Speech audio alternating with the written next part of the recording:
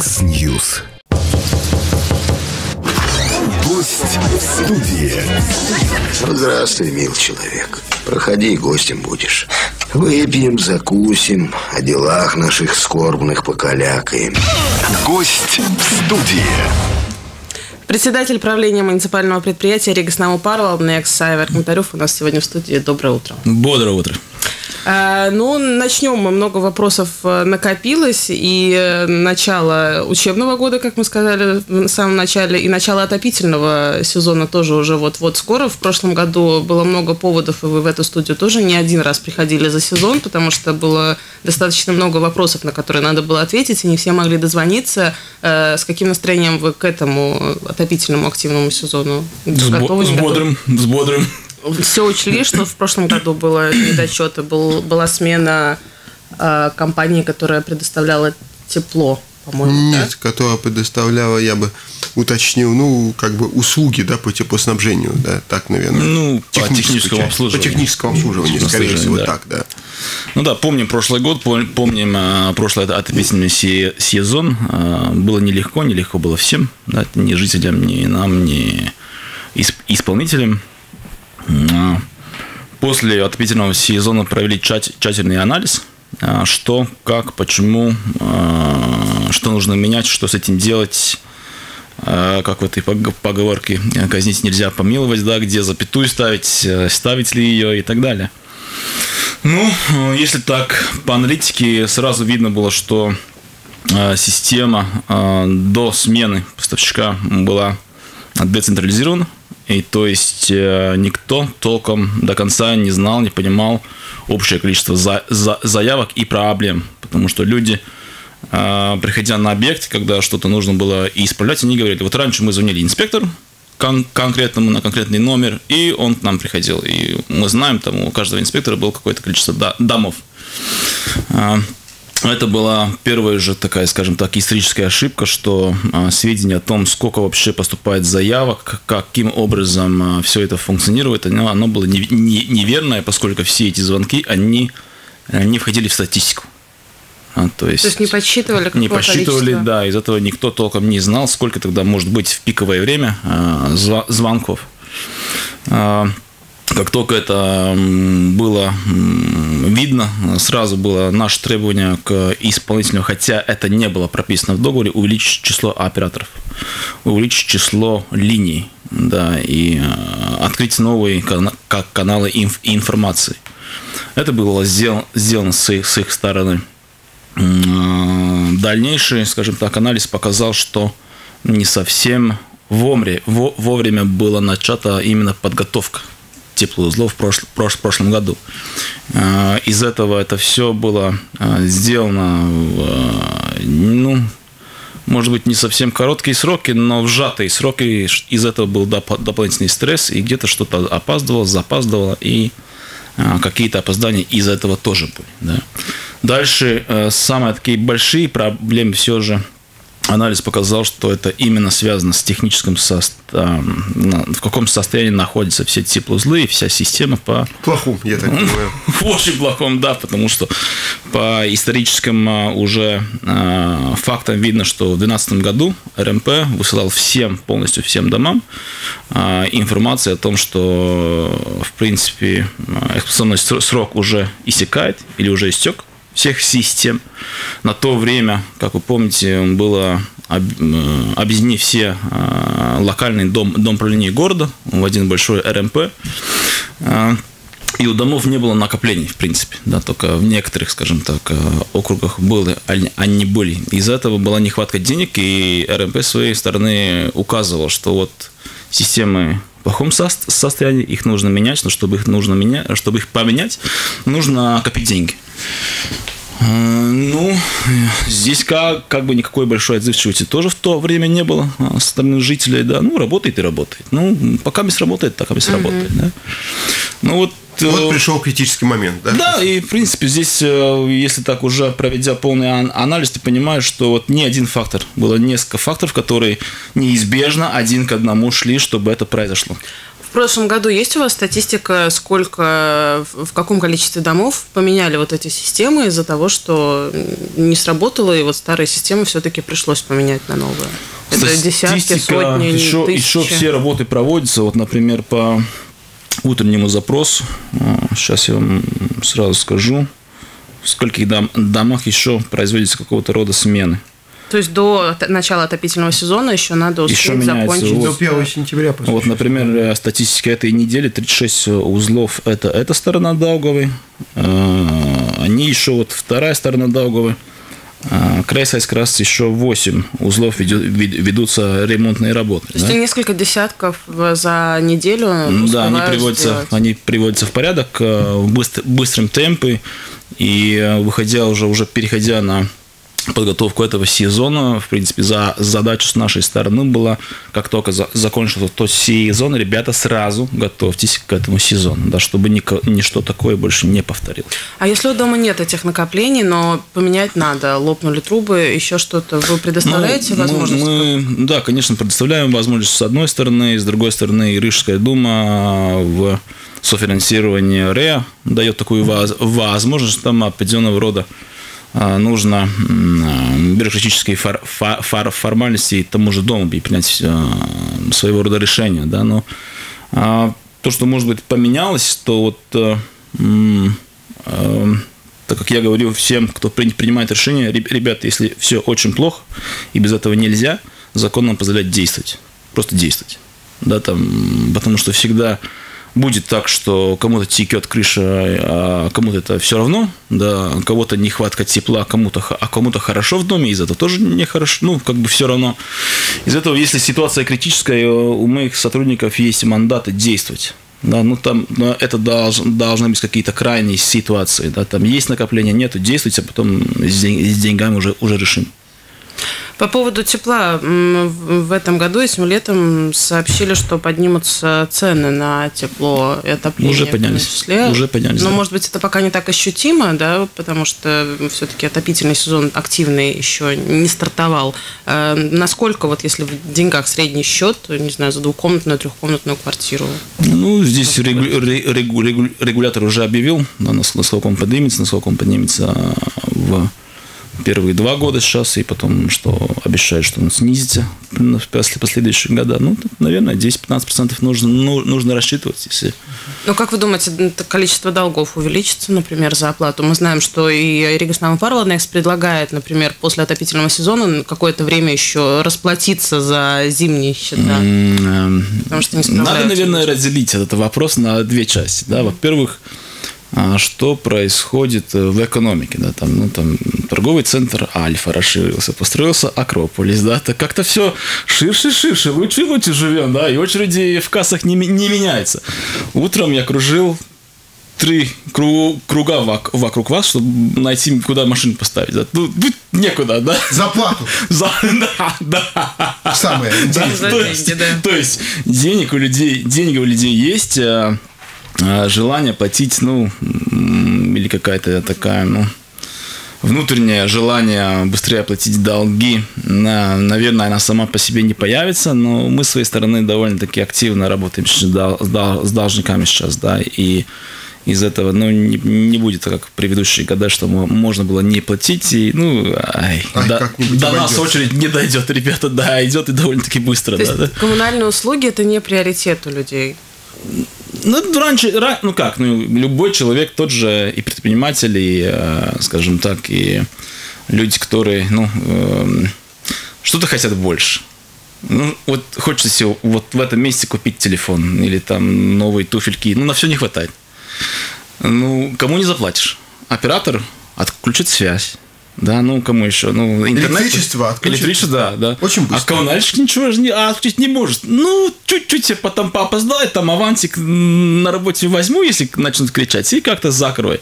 Потому что это услуга на весь дом, ее отключить невозможно, да, из этого, если на все не хватает, люди ее откладывают. Пенсионеры, вот, вот им похвала, молодцы. Самые дисциплинированные, Да, да. самые, они знают, они откладывают, они планируют, вот, вот, вот молодцы. Традиционно. Вот этот вопрос, который нам часто вам задают, не только журналисты, это, конечно, состояние жилого фонда. Мы понимаем, что какого года дома, хрущевки, литовки, вот что тут можно сделать, что планируется, потому что, ну, всегда возникает вопрос, что в первую очередь мы видим и публикации, не знаю, балконы починить, крышу починить, утеплить, вообще в каком состоянии жилой фонд, если у вас такая вот э, такая инвентаризация, что вообще понять, Есть. какие дома нужно срочно вообще уже приводить в порядок. Есть. А, И, э, в принципе, мы в экс- в эксп- экспериментальном порядке мы сделали вскрытие м, панелей уже в доме, чтобы понять, в каком сос- состоянии швы и место, место стыка.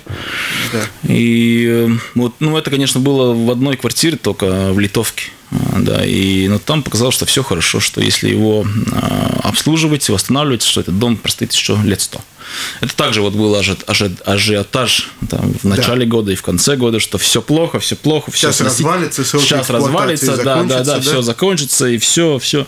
Хотя мы все помним, что по СНИПам там было 100-150 лет. Да, есть, в принципе, на самом деле, оказывается, не так-то плохо и строили, да? О, вот. Ди- да, здесь тоже две составляющие. Строили не так плохо. Строили не так плохо, и а, когда я общался тоже вот с людьми, которые в то время были инженерами, и строителями и так далее, они говорят, да, была система. Она была отработана по всему Советскому Со- Союзу, как строить. Конечно, всякие бригады попадались и понятно, так далее, да. но если целиком берем, строили не так плохо. Да? Если мы посмотрим сейчас на уже теперешними глазами на то, что понастроили э, в независимое время, да, ну тогда другие новые проекты, они намного хуже построены, как э, дома в советское время. Вторая часть вопроса о том, что как они, будьте здоровы, э, как они, как эти дома все это время были поддержаны или поддерживались. Да, эксплуатировались, Да, эксп- И эксплуатировались, да, что вот э, первые, наверное, 50, 60, 70 лет, ну, их особо там никто за ими не, не смотрел. И потом как бы уже, ну, так пошло, что никто их не восстанавливал и так далее, и, и так далее. Я думаю, что в течение вот э, будущих 10-20 лет э, нужно производить определенные шаги по их вос- восстановлению. Вот это, если это не будет сделано, да, и дом все еще будет ухудшаться, ухудшаться, ухудшаться, ну тогда можно достигнуть так называемой точки невозврата. Ну, когда уже смотришь, что она уже глубоко что-то вот уже настолько плохо, что... То есть обольщаться не надо, надо все-таки стараться эксплуатировать. э, в смысле, Ну, стараться вот при... восстанавливать, да, восстанавливать, да, и содержать. И по содержанию мы понимаем, что есть два подхода. Один, когда вы постепенно копите деньги и каким-то образом вот смотрите швы, ну тогда швы, ну мы просто э- э- элементарно посч- посчитали, сколько швов и сколько через каждые сколько лет нужно их делать, да, и сколько денег на это уходит. Или же один раз собраться и все сделать, делать целиком. Сейчас пока есть э, европейские деньги, Министерство обещает, что даже если не закончатся, будут дру- другие инструменты фина- фи- финансирования по восстановлению. Но другого пути в Латвии к- по жилому фонду, как восстанавливать его, нет. Нет, мы не такой экономики, где э, мы могли бы все сносить и строить заново. Ну, не получится. С одной стороны, с другой стороны, вот наши исследования уже показали, что дома не в таком плохом состоянии, чтобы их не восстанавливать. И здесь простая экономическая составляющая. Там, мы можем восстановить дом за 200-300 за, за квадратный метр, да, а построить новый стоит 1100, 1000, 1200. Ну, вот и все. А еще снос- сносить его надо, еще где-то жить в это время. Ну, то есть, ну, математической составляющей нет. То есть, идем путем э, восстановления жи- жилого фонда. Были несколько раз а, также в Эстонии, смотрели, как они спра- справились с этим, э, с этой задачей. А, Слышал про э, опыт э, в Польше. А, Там государство то- тоже, тоже вот сказало, что они софинансируют все это. Европейские деньги за- закончились, и государство уже поняло, что это как один из приоритетов, и из этого они на это дают деньги. И здесь, в принципе, если э, как эстонцы подошли толком, э, денег не нужно выбирать с экономики. Если, если ты восстанавливаешь дом, тогда в течение всего процесса около 32-35% государство, наоборот, получает как дополнительный доход от налогов. Стройматериалы, рабочая сила, стройка, все, все, и т.п. и т.п.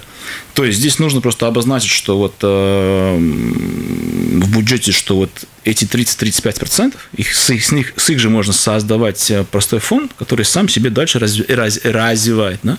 Вот и все. Поддерживает. Да? 672-12-93-9, 672-13-93-9. У вас есть возможность позвонить и задать вопрос. Также пишите нам в WhatsApp 2306191. Еще один такой вызов, который стоит и перед Ригой Снамопарвал Next в том числе, это мусор. С 15 сентября меняется угу. компания, которая обслуживает, и много разговоров об, на, на эту тему. 15 число все ближе. Совет по конкуренции против, министерство вроде одобрило, но при этом Совет по конкуренции все равно говорит, что есть вариант заморозки этого договора, тогда у всех начинается, что, а что же будет, и вот расскажите вот, с вашей стороны. Ну, с, с нашей, нашей стороны, во-первых, так, с чего это все началось, да, и так далее. Как вы помните, это был один из факторов, почему э, министр э, решил, что мэр плохой, в том, что эта закупка не была проведена. Потом проводится закупка, все молчат. Когда вот подходит 15 э, сентября, когда все станет вдруг все такие умные, нужно все это остановить и так далее, и так далее. Здесь мы, с одной стороны, сейчас смотрим и пытаемся координировать договор по условиям договориться и так далее. Но с другой стороны смотрим, что происходит с всеми решениями по Совету по конкуренции и так далее. Ну, позволят, не позволят и так далее. Ну, рано, рано или поздно к этому, наверное, нужно было бы прийти, потому что чисто сейчас с хозяйской точки зрения, то, что там четыре оператора, ну, в одном месте, ну, и я, например, сам живу в улице Дарсема, да, там, ну, вот частные дома, там, один мусорник одному, другой мусорник другому, третий мусорник третьему, да, разные, разное время вывоза мусора, но это кошмар просто с такой с, логич, с логической точ, точ, точ, точки зрения, потому что если смотреть, как этот бизнес построен, там важна логистика. И тогда, если уже машина пошла, тогда она в, один, в одно время всех собрала и поехала. Это и удобство для самих жителей, что там не хотят эти машины за там... Я знаю, что у меня вы, выводят там пятница утром, у соседа за спиной э, в воскресенье, у кого-то еще в субботу. Они ездят, все все же там мало места, все раз, раз ну, все как борт так меня не раз, разъезжает и, и так далее.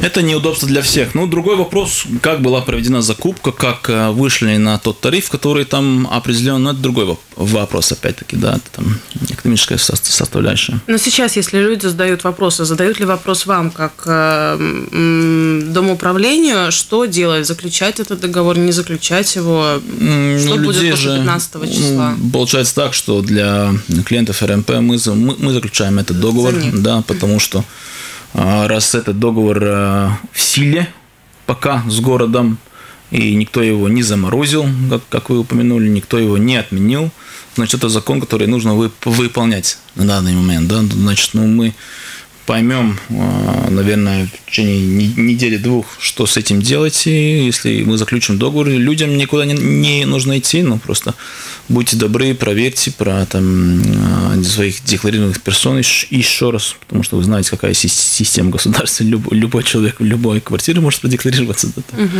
Мне тоже люди писали о том, что вот у них там продекларировано три человека, но он живет один, я говорю, ну, будь добр, зайди через Латвию ЛВ и посмотри, сколько у тебя там людей. Ну, там, там, там, там же все видно, да, там.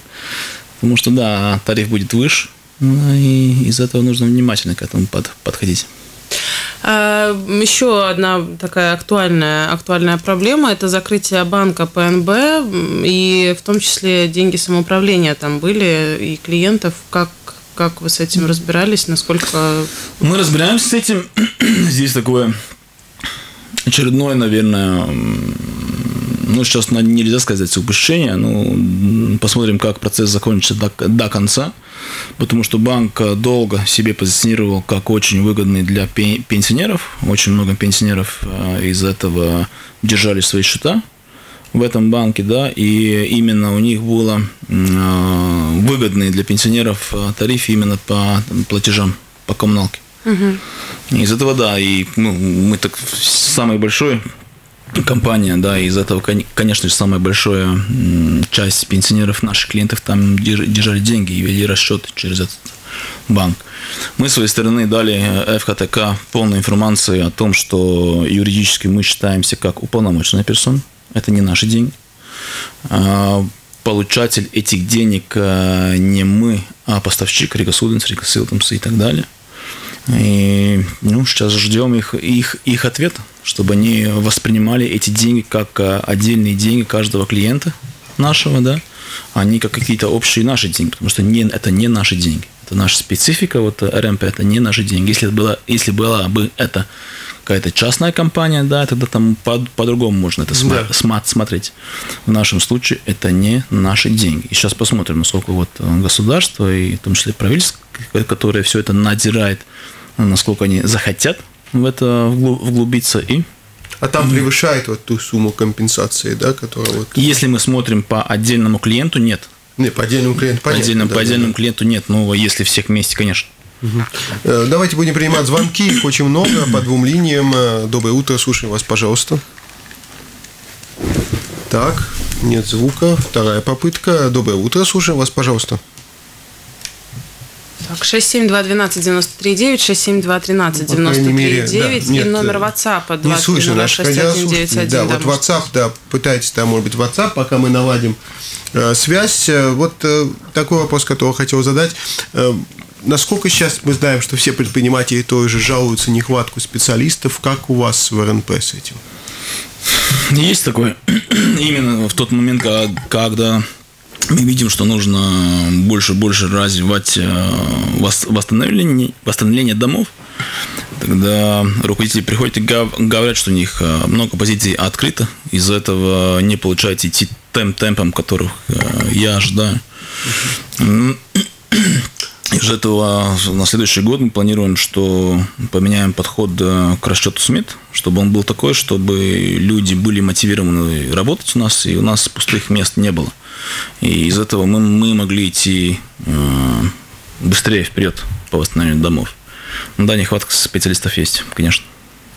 А еще один момент, который тоже хотелось бы обсудить. Э, знаем, что кризис в Рижской думе, он коснулся, наверное, всех, э, всех компаний, которые были, как, были и, продолжают быть связаны с Рижской, с Рижской думой. Да, насколько вас это коснулось, и э, были ли вы в этом подвешенном состоянии? Ну, наверное, не буду врать, и, наверное, все председатели компаний, которые есть, и заведующие структур, ну, смотрели, что происходит и как это может, как это может кончиться. Да, там в то время самое плохое, что происходило, потому что мой приоритет именно восстановление домов, и мы разогнались до уже до более 150 голосований про восстановление дом, да, домов. И в тот момент, когда это бардак нач, начался, банк сказали, ребята, стоп, стоп, стоп, стоп подождем, когда в Рижской думе там все улягнется, вы все же компании Думы, мы не понимаем, что будет, да, там, с Думой, с вами и так далее. Из этого приостанавливаем э, финансирование. И буквально вот только эта пауза длилась месяца 4 вот, ну, где-то. Ну, То есть банки не хотели давать да. финансирование на реконструкцию? На, ну, они просто, они как партнер, в тот момент мы как партнер, мы стали ну, непонятными, потому угу. что в Думе непонятно, непонятно, что будет вообще с этими компаниями, что с руководством. Они говорят, мы-то вас знаем, мы-то вас понимаем, но вас могут снять в любой момент. Тут другой придет, скажет, большая зачистка, всех снимаем, нас не интересует, кто что сделал, угу. так полагается в государстве, да. да. Объяснять причину. Не надо, не надо, не надо. По договору, например, у меня и у всех председателей нахуй договор уполномочен, у нас не рабочий договор, мы спорить не можем. Нас просто вот снимает и все, ты свободен. Да. Свободен. Да. Ну, в такой атмосфере как работать? Э, давайте примем все-таки звонки. Вроде э, есть сообщение, что наладилась связь. Э, доброе утро, слушаем вас, пожалуйста. Добрый, добрый день и доброе утро. Да. Это вас беспокоит из Мерсенса. Скажите, пожалуйста, можно ли положительно решить вопрос и вообще рассматривать этот вопрос? Это вывоз мусора на человека. Вот у меня в доме половина собственников сдают э, квартиру в аренду. Естественно, там, если жило два человека, заезжает пять человек. Есть семьи, которые продекларировано один человек, постоянно живут пять человек, шесть человек. Я, я не я пыталась решать этот вопрос, но Вообще, вообще разрешимый он или нет, как ваш... Угу. Спасибо большое, да. Вот Вопрос такая... понял, да. Здесь есть э, два решения вопроса.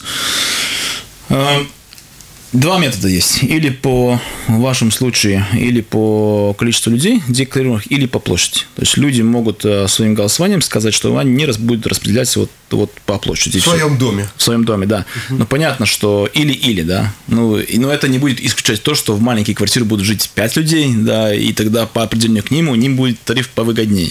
Здесь, ну, нужно взвесить, какой из вариантов лучше, и тогда при, при, принять на собрание. Э, доброе утро, слушаем вас, пожалуйста. Доброе утро. А, будьте добры, у меня вот такой вопрос по поводу э, Силтум сервис, а особенно в свете подорожания стоимости тепла. А, значит, я настоятельно прошу, э, значит, сделать так, чтобы работники этой организации, особенно диспетчеры, которые на телефонах у вас там сидят, которые бы четко знали, какой интервал температур обязаны поддерживать у нас э, э, в квартирах. Потому что диспетчеры э, почти всегда спрашивают, вам холодно, вам жарко, что это за вообще подход? Это непрофессионально. Диспетчеры Рига Силтумс никогда так не делали. Угу. Поэтому есть... они обязаны э, узнавать, какая температура, угу. превышение нормы или уменьшение. Спасибо большое, такая рекомендация. Э, хорошо, услышали. Здесь вспомнил маленький нюанс э, прошлого отопительного сезона. А, почему спрашивает холодно или горячо? Потому что это может быть в том числе субъективная информация. А, мне горячо, мне холодно приезжаем с, мастерами на объект, на вызов. Да, там девушка в майке. А, вам холодно? Замеряем температуру 22 градуса. Ну, ну, и это один нюанс. Второй нюанс. Мы видели, что люди уже запрашивают более большого комфорта. Они спрашивали нас устанавливать температурный режим не там 18-22, а 22-24. Потеплее, чтобы было. Они, мы им рассказывали, понимаем, поднятие на каждый градус там плюс 5% к счету. Ничего, хотим, чтобы было теплее. Это одно. А второе новшество, что уже около тысячи домов в экспериментальном порядке установлены датчики – отдаленного считывания, и уже, скажем так, в этих домах уже отделенному, отдаленно можно будет видеть, что происходит с температурами и поднимать и То есть это уже такая современная система, да? да? И на компьютере будет э, да, видно. Да. То, что я, я еще не сказал, что анализируя а, прошлый отопительный сезон, в том числе издержки людей именно по новому оператору Силтум сервис Риги, сопоставляя с а, предыдущими годами, сколько это обошлось жителям, тогда именно за обслуживание теплосетей жителям это обошлось на 17% меньше. То есть все-таки да. эффективно. Да, да, да, да. Я так понимаю, что дальше будет это внедряться, еще больше конечно, домов на всех домах, чтобы... к этой системе, да, да? Да, конечно, чтобы отдаленно уже можно было... И тогда у диспетчера не будет спрашивать холодно или жарко. Все видно будет, да. Угу. Еще один звонок, наверное, успеем принять. Э, добрый день, слушаем вас, пожалуйста. Здравствуйте. Да. Расскажите, пожалуйста, какая функция на предприятии депутата Валерия Петрова? Раньше он рассказывал, что он закупает скрепки и бумагу. А чем он сейчас занимается? Спасибо. Вопрос дня, да? Чем занимается депутат? А, раньше он закупал, наверное, это было до моего времени, потому что он а, был в отделе ресурсов, и сейчас он работает моим советником. Да, то есть и а, вместе с ним мы раз, разрабатываем проект колл-центра, уже своего колл-центра, потому что на данный момент нас обслуживает Лателеком, как те, которым вот вы звоните, как все жители, вот вы попадаете именно на Лателеком. Ну, к сожалению, мы не совсем довольны, и в то кризисное время они не справлялись. Из этого мы такой большой проект э, зам, замахнулись, как э, создать свой колл-центр. Уже помещение есть, уже проектируется все и так далее, и так далее. Набираются люди, так что будем запускать. То есть люди будут звонить непосредственно уже да, сразу? Да, да, да, да. Сейчас еще из последней актуальности с Валерием мы обсуждали именно Э, договор по мусору, да, и так далее, потому что много всякого рода нюансов и понять, как правильно сейчас поступить к, к всему этому вопросу. Ну, большие глобальные вопросы. Скрепки больше не закупают, это точно. Э, да. Вот э, такой вопрос, который, наверное, вам тоже часто задают. Мы понимаем, какой ситуации есть в доме. Вот даже радиослушательница звонила, что ну, часть людей сдают квартиры, да. да, там не проживают, часть, не знаю, квартиру закрыли, уехали там, не знаю, на заработки. Такова сейчас жизнь. И когда вот происходит какое-то собрание по решению вопроса, там, не знаю, по утеплению дома, ну, тяжело, во-первых, людей собрать, во-вторых, непонятно, кто за, кто против. Как в этой ситуации вообще сейчас действовать? Знаете, что законодательство вот, позволяет? Вот, вообще неправда. Вот это показывает то, что вот 150 домов э, за полтора года проголосовали за реновацию. Это ну, рекордный счет, когда людей могли собраться и сказать... Все-таки смогли, да. Смогли, да. Это, во-первых. Во-вторых, э, именно по голосованию и в том числе про реновацию голосования есть исключение в законе которая позволяет, в принципе, любому соседу или родственнику выдать доверенность. Но это доверенность по исключению к закону. И нету необходимости ее идти э, удостоверять у нотариуса. Это простая бумажка. То есть просто от руки Просто написано? от руки написано. Вы находитесь в любом месте Англии, еще где-то. Вы написали, послали по почте, засканировали, прислали нам. Это все элементарно делается. Это вот очень просто и эффективно. Да, и то есть было бы желание все это Да, было бы решить. желание, и вот 150 голосований показывает, что желание есть. И собираются люди, да, это трудно по одному, по второму разу. И то, что вот не закончилось, что вот наконец-то, когда в доме все устаканилось, прошлой, позапрошлой неделе мы тоже мы уже получили уже решение банка, да, вот следующие 3 миллиона вот вам на э, вопросы реинновации, мы все выдохли. Угу. Вот тогда был большой стресс, потому что жители уже проводили какие-то работы, а денег-то нет. А, строитель ждет тоже, да, там не понимает. Э, там еще была часть проектов, которая шла через программу Риж, Рижской думы по софинансированию. Они тоже не понимают. Ну, а как мы уже было за оседание, как закрываться будем? Говорю, пока решений нет. Да, на тот момент единственное решение было, что банки согласились, что они нас не будут финансировать, но они могли бы финансировать отдельный дом, если дом создает бедрибу. Да, но а жители говорят, ну мы пришли и проголосовали, из-за нас, они доверяют нам. Угу. Они не хотят, они как-то этот шаг создания бедрыбы и что бедры берет, они как э, шаг отделению от нас. И они это психологически не воспринимают. Они говорят, мы проголосовали только то, что здесь работают эти люди, мы им доверяем, то, что это РМП, и РМП принадлежит э, самоуправлению. Из-за этого мы понимаем, что мы компания не однодневка, мы ну, не исчезнем с их деньгами и так далее. Это большие финансовые обязательства. Угу. И когда вот это была пауза, тогда вот очень трудно было вот работать. Э, насколько вот э, есть взаимодействие между ну, центральным РНП, если так можно сказать, и какими-то отделениями на местах, потому что ну, многие, многие жители сложилось такое ощущение, что все решается в центральном офисе.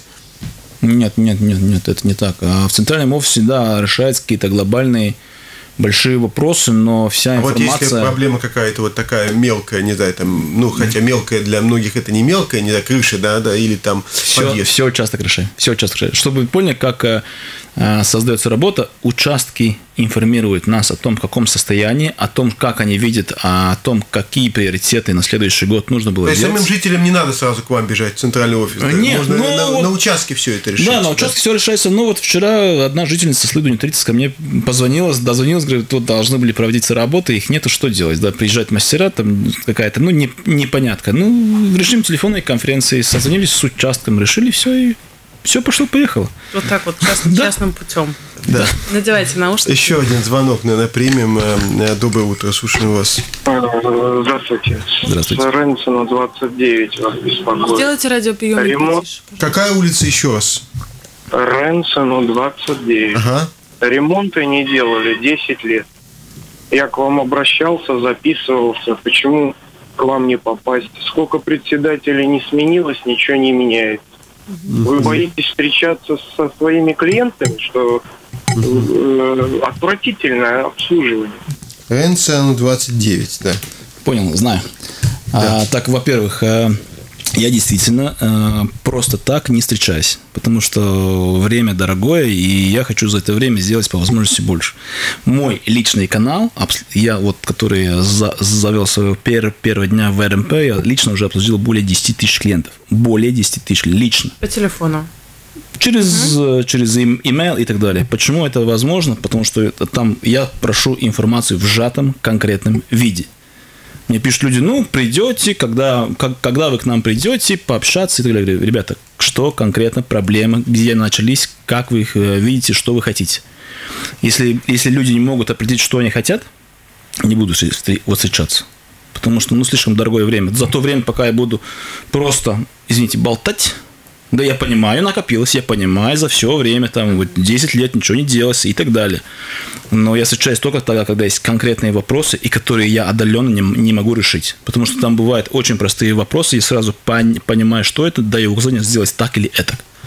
Что в этой ситуации человеку делать? Куда ему обращаться? Где, может ну, быть, его там выслушают все, все, все, что наболело, и могут Я сейчас сделать? наберу последнюю нашу коммуникацию по Ренцену 29. А, все-таки были эти коммуникации, да? Ну, коммуникации были, конечно, но человек же говорит, что он со мной общался, да, и ничего не меняется. Ну, раз ничего не меняется, тогда, может быть, не совсем проблема в нас. Да, насколько я помню, этот дом э, не типовой застройки. Сейчас дайте зайти. Сейчас я быстро делю. Сразу в прямом эфире все вопросы попробуем решить. Ну, все нет, да. Нет, мы не решим, но мы... Я, я думаю, что этот дом помню. Ренсон 29. Я думаю, что этот дом я помню. Сколько вы вообще тратите? А, знаю, да? знаю, знаю, да. знаю. Этот, этот дом не типовой застройки. И, э, скажем так, брак а, брака того момента, когда вся недвижимость, там был бум, строилось, строилось, там все очень некачественно, там кардинально нужно, нужно решать все, да, там, ну, но это решается как-то? Или ну, это... те вопросы, которые маленькие, что-то, я помню, там какие-то были э, в асфальте бедрес, да, там еще uh-huh. то, то, что можно просто простым путем решить, там, пойти за делать, то решаем. То, что там глобально, ты понимаешь, там все перестраивать надо за большие деньги, ну, принимайте решение, будем Это по Волгоградском предместе, по-моему, да? Да-да-да.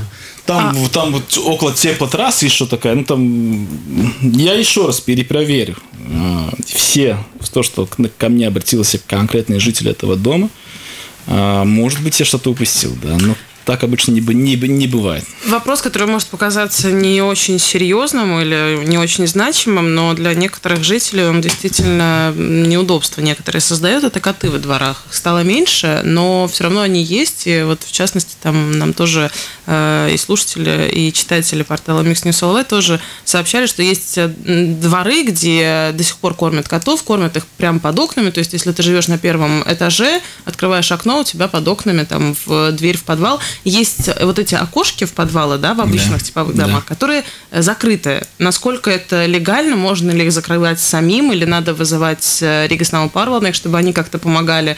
Э, и кто в этих вот спорах прав, кто виноват? Ну, что мы, делать? Если, если спор острый, он же там долго, да, тогда мы все же просим жителей определиться ну, часть за котов, часть против котов. Ну, тогда давайте принимайте решение, мы просто выполняем ваш, ваше решение. Вы, вы, то есть вы забетонируете вход ну, мы найдем, мы, мы, мы найдем решение, там, ну, там какую-то решетку поставить, чтобы был и обмен воздуха, но и коты не попадали, да, ну, тогда будем, если там будут появляться дырки, э, их опять менять и так далее. Ну, просто людям нужно самим определиться, что вы хотите, да, там, ну, вы за котов или против котов, да, там, ну, и а общение между людьми тоже никто не исключал. И, наверное, во-первых, нужно поговорить с соседями, с соседями, да, о том, что вот давайте кормить, но не здесь именно, а может там вот есть какая-то полянка подальше, которая, которая бы никому не, не мешала там объяснить там друг другу, почему это мешает другому. Вот одному нравится коты, другому нет. Ну, просто общаться. Простым общением решить вопрос. Но если никак уже, тогда собираться принимать решение, что здесь всем, зона всем запрета дома. котов или наоборот угу. здесь зона давайте коты сюда все. То есть можно, могут сами жители решить? Конечно, конечно, конечно. Ну, также вы видите, там дети домики стоят и так далее. Ну, кто-то нам пап, пап, попросил их там поставить, мы, мы, мы поставили. Потому что если это торцевая стена дома, ну почему нет? И жители этого хотят. Потому что, чтобы это не было каким-то а, фанерным путем, а уже нормальным, красивым путем, да, чтобы это было сделано. Ну, вот и все просто. Дайте знать, что вы хотите. 672-12-93-9, 672-13-93-9. Буквально минутку у вас остается, если хотите еще задать. Э, в гостях да. у нас председатель правления муниципального Последний звонок принимаем сейчас. Э, добрый день, слушаем вас, пожалуйста. Доброе утро. Я хочу, честно говоря, его рассказать спасибо, потому что человек мне действительно помог. Это был случай а, буквально в этом году, зимой, под конец отопительного сезона. У нас есть сосед, который терроризиет весь дом, ну, относительно, если можно выразиться. Угу. Вот, он периодически то выключает, то горячую воду, то холодную. И такой случай произошел уже буквально там часов 6-7 часов вечера, когда никто уже не работал, да, то есть отключили, э, был на улице мороз порядка, наверное, минус 7 градусов, да, отключили батареи. То есть, ну, понимаете, что это такое. Вот, и, значит, я звонил в обслуживающую компанию, а мне сказали, не, ну что вы там, типа, мы, может быть, завтра кого-то пришлем. Я написал Айвору, это было уже не рабочее время, тоже, наверное, уже близко к восьми позже, и человек посодействовал, и буквально через там час-полтора появилось отопление. Да? То есть меня, можно сказать, послали в обслуживающей конторе, а благодаря Айвору, то есть эта проблема была решена. Большое спасибо. До свидания. Спасибо. Хорошее за хорошие слова, да. Обычно так не бывает. Обычно всех ругают за управление. На этой ноте и закончим. Пожелаем вам удачи с началом нового отопительного сезона. Председатель правления муниципального предприятия Рига Снаму Парвалднекс Айвер Гонтарев был у нас в студии.